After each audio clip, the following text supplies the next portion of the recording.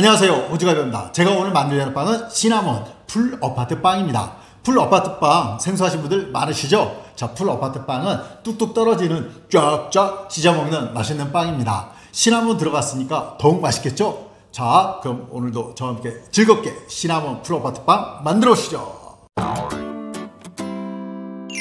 반죽을 시작합니다. 방금 끓여준 물 한 컵입니다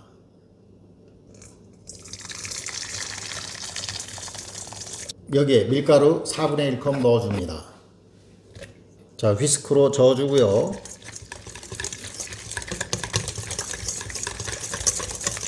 보시는 것처럼 금방 이렇게 풀이 되었습니다. 안 풀린 것들이 있는데 그냥 넘어가셔도 됩니다. 여기에 찬 우유, 냉장고에서 바로 꺼낸 찬 우유가 4분의 1컵입니다. 설탕은 3큰술이고요. 소금은 반 개 티스푼입니다.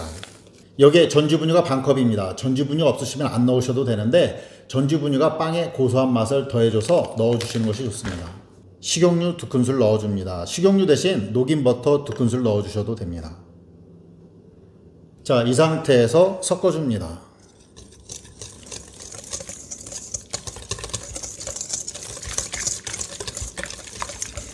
자, 전주분유의 고소한 내가 올라오는데요. 자, 온도를 한번 보겠습니다. 자, 이게 뜨겁지 않고 미지근하거든요. 자, 그러면 이스트가 발효하기 딱 좋은 상태가 되어 있는 것입니다.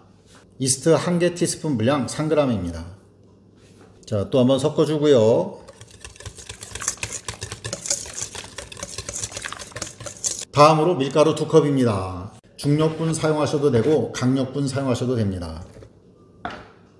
반죽해주고요. 자, 뭉쳐줍니다.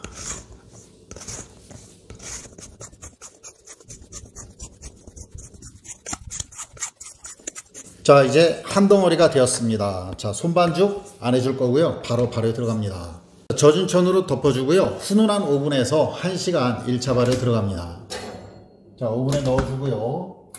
50도로 해서 1분만 켰다가 꺼주겠습니다. 그럼 오븐 안이 발효하기 좋은 훈훈한 상태가 되거든요 발효가 진행되는 동안 시나몬 준비합니다. 브라운 슈가가 3분의 2컵입니다. 여기에 시나몬 가루 1개 테이블 스푼 넣어줍니다. 자, 저는 시나몬 좋아해서 좀 이렇게 수북하게 넣어주겠습니다. 자, 섞어주고요. 자, 끝입니다. 아주 간단하게 시나몬 준비가 끝났습니다. 1차 발효 끝났습니다. 네, 살짝 부푼 것 같은데요. 자, 반죽 꺼내줍니다. 자, 바닥에 밀가루 충분히 뿌려주고요. 넓은 면을 많이 해서 이렇게 뿌려줍니다. 자, 반죽 위에도 밀가루 뿌려줍니다. 쫙쫙 늘려줍니다. 자, 밀대고요. 밀대를 이용해서 더 늘려주겠습니다.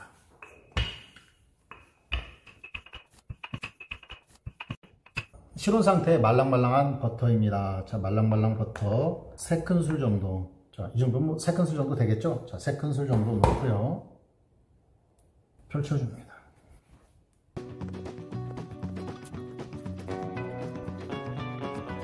스크래퍼 없으시면 스파츌라로 이렇게 해서 펼쳐주시면 되고요.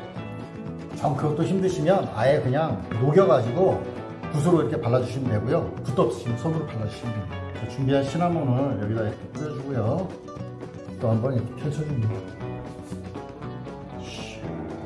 잘 펼쳐지는데요. 아 시나몬 냄새가 올라오는 거가 정말 좋네요. 여기에서 잘라줍니다. 자, 자 대략 폭이 한 10cm 정도 되게 해서 잘라주시면 되고요. 대강 하시면 됩니다. 자, 이렇게 모아줍니다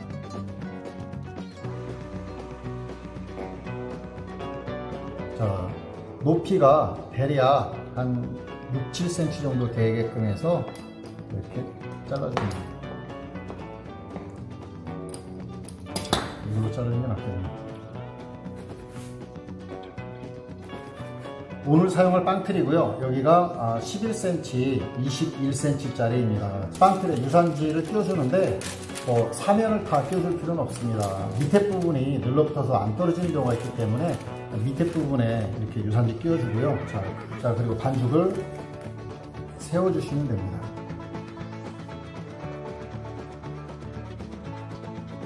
세울 때 좀 불편하죠?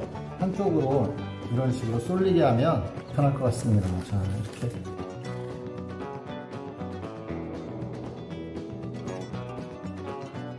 좀 이렇게 뭉친 것들 손으로 해서 펼쳐주고요.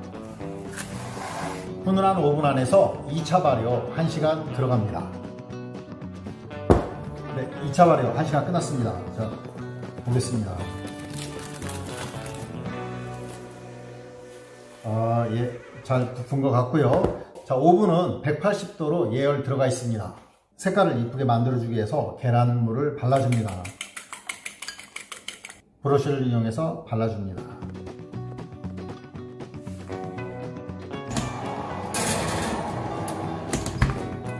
자, 180도로 35분에서 40분 정도 구워주시면 됩니다. 빵이 다 되었습니다. 꺼내겠습니다.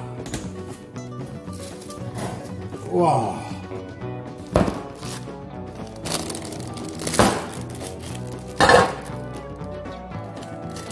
와, amazing하지 않나요? 아, 시나몬 pull apart 빵이 완성이 되었습니다. 이 상태에서 이렇게 뜯어서 이렇게 두셔도 되고요. 자, 여기에다가 frosting 올려주면 정말 맛있는 디저트가 될 것 같습니다. 자, frosting 만드는 방법은요. icing sugar 한 컵입니다. icing sugar. icing sugar 없으신 분들은 설탕을 믹서에 갈아서 넣어주시면 됩니다. icing sugar 한 컵에 우유가 두 큰술이거든요. 근데 한 번에 많이 넣어서 너무 묽어지면 걷잡을 수가 없거든요. 그러니까 먼저 한 큰술을 넣고요. 자, 자 이렇게 해서 섞어주고요. 한 큰술을 더 넣겠습니다. 설탕 때문에 넣기가 좀 그런가요?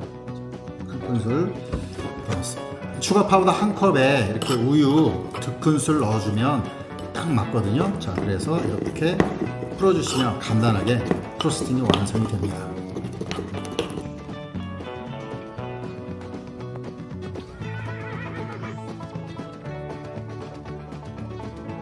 frosting이 반 정도 남았는데요. 한 컵 하지 마시고 이 정도 용량 할 것 같으면 반 컵에 우유 한 큰술만 해주시면 좋을 것 같습니다. 찢어보겠습니다. 짠. 한 겹, 한 겹, 이렇게, 이렇게 당기면 이렇게 찢어집니다. 먹어보겠습니다.